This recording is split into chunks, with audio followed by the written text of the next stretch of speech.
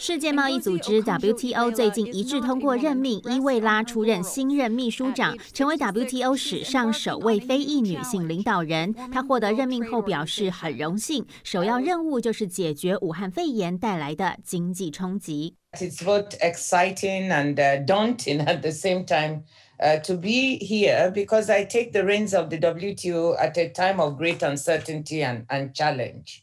六十六岁的伊维拉曾经担任奈及利亚财政部长，也曾在世界银行担任二十五年的发展经济学家。这一次在美国拜登政府的大力支持下，顺利出任 WTO 秘书长。伊维拉也表示，未来会确保优先药物和美国一致。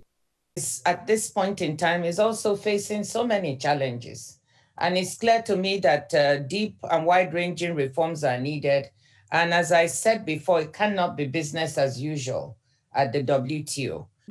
成立于一九九五年的世贸组织拥有一百六十四个会员，也是台湾以正式会员身份参与的国际组织。伊维拉在竞选期间承诺将公平对待台湾，也获得台湾支持。他将在三月一号上任，直到二零二五年八月三十一号为止。中央社综合报道。